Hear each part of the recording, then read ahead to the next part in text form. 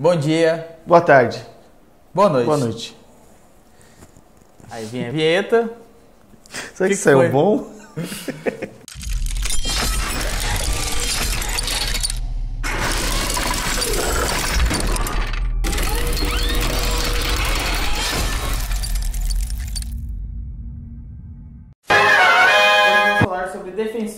série nova que está saindo na, na Netflix. Aliás, está saindo não, acabou de sair. Acabou de sair. Saiu sexta-feira com oito episódios. É bem rapidinho de assistir, bem suave, assim. A série finalmente faz o encontro de todos os heróis da, desse universo urbano da Marvel que a gente vem acompanhando.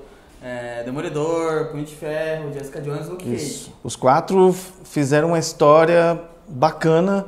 Não ficou de uma certa forma igual aos quadrinhos, mas é aceitável você assistir sobre é, este quadrinho aí que virou uma série bacana da Netflix, né? Porque a Netflix teve coragem de fazer. Exatamente, foi um projeto, é, é, acho que foi um projeto bem, bem interessante e inovador. Você partir para lado mais realista dentro da Marvel. Falta isso no universo cinematográfico, pelo menos, que é muito lúdico, é muito Sim. viajado. Que são deuses, são coisas com Isso- isso é desde totalmente começo, são verdade. poderes tipo mágicos.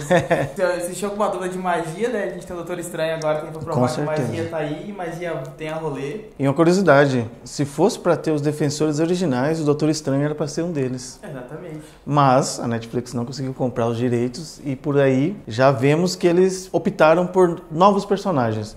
Isso também é bom pra, para o pessoal que quer se introduzir no meio dos quadrinhos. Exatamente. Então é fácil pegar agora alguma coisa sobre eles. É, você pode ter uma visão melhor do, do- de início, de origem, Isso. de poderes, uma visão mais é, politizada, urbana, mais realista, uma visão mais atual, Isso. né? A única coisa ruim é o Punho de Ferro, porque eles não souberam fazer o personagem ter um desenvolvimento tão bom. Já os outros personagens, Luke Cage, Jessica Jones, Demolidor, eles têm uma presença bacana.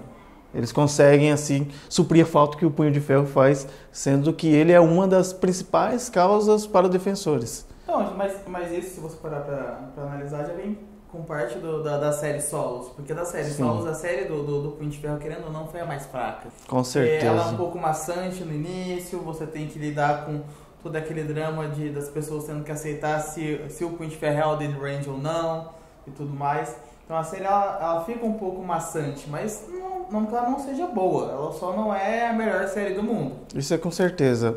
E Nem assim, melhor que as outras. E é uma coisa também que é outra curiosidade, as pessoas perguntam se tem que assistir todas as séries para assistir os defensores. Eu, eu falo que precisa, por conta que você vai ver personagens não saber de onde que eles vieram. Então cada, cada série interligou para começar essa série. Então a junção deles não foi à toa. É, a junção deles não é à toa, até porque o, o inimigo tem um inimigo comum, que querendo ou não, você descobre Uhum. ao longo do- do- dos oito episódios que ele é um inimigo que estava presente nas outras séries, mesmo sem ser revelado. Então, se ele fosse um, um, um easter egg, o inimigo era um easter egg nas outras séries. Isso é. E, E também tem essa visão depois. e a presença também de Sigourney Weaver. Sigourney Sigourney Weaver, ela Excelente atriz, clássica, famosa Ripley. é, você não vai ver aliens, mas você vai ver ninjas nisso daí. Muitos ninjas. Muitos ninjas. Ninjas imortais. Ninjas imortais. Pesquisem depois o tentáculo. Tentáculo, inclusive, pra quem não sabe, é, é um grande inimigo nos quadrinhos em si do, do, do Demolidor. Sim, Eles acabaram abrangendo todo mundo pra fazer um bom usufruto do, do,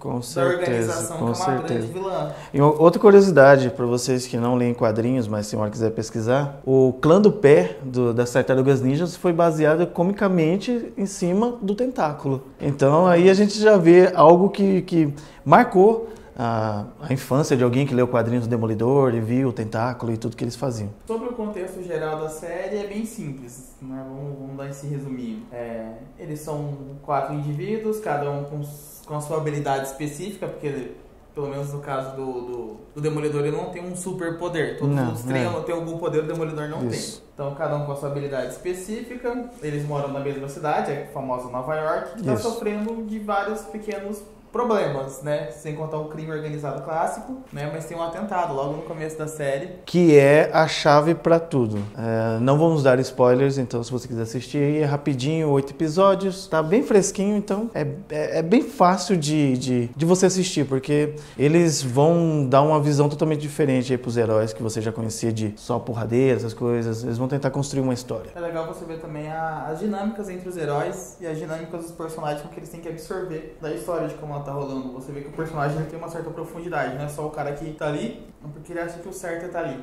Uhum. Ele tá ali porque ele tem uma motivação atrás, aconteceu uma coisa que, inclusive, se vocês quiserem assistir as séries separadas de cada uma, uma recomendação não só porque ajuda você a ter uma maior, uma maior compreensão do, dos defensores, mas também ajuda você a entender como os personagens se relacionam com eles mesmos, com quem está à volta deles. Porque você vê que cada um deles tem um, um, peso, tem um passado, ou tem alguma coisa relativa ao próprio presente e futuro que Sim. faz com que eles sejam do jeito que eles são.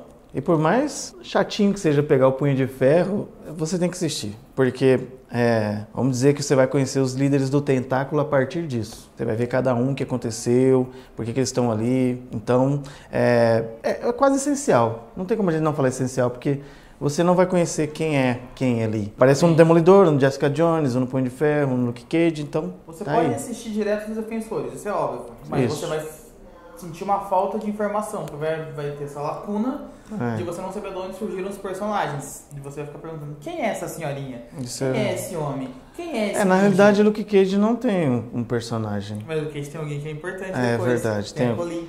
É, tem. E acontece algo com ela que eu fiquei chateado. Demais. Ah, vai virar Midnight, ela tem virar Então. Midnight. Isso que a gente está esperando, né? Vamos ver como é que vai ser agora a, a próxima execução dessa segunda temporada. Terceira, no caso, a temporada do- É. do Demolidor. Terceira. Pra quem, E logo pra quem O- tá, tá pesquisando aí, pra quem tá, tá na espera, Demolidor já tem duas temporadas, ambas estão na Netflix. Você pode achar por aí também nos meios. né? É, e logo logo também teremos Justiceiro. O Justiceiro deve estrear no final desse ano e início do próximo. Vai ser muito interessante a série, porque o Justiceiro vai se distanciar desse, desse núcleo super-heróico e vai focar num, simplesmente no contexto geral dele, que é a vingança. Isso. Isso vai ser muito legal. Pelo trailer você já vê algo bem bonito aparecendo por aí. Inclusive, o Justiceiro já foi usado, já teve uma prévia de, de episódio piloto, né? Isso. Dentro- No Demolidor. Dentro do Demolidor, quando ele aparece. A primeira parte do, do- da segunda temporada do Demolidor é ele enfrentando o Justiceiro. E é muito bom. Muito bom. Muito bom. Recomendadíssimo assistir essa série. Gente, fica aí que no próximo bloco a gente vai falar dos quadrinhos desses heróis.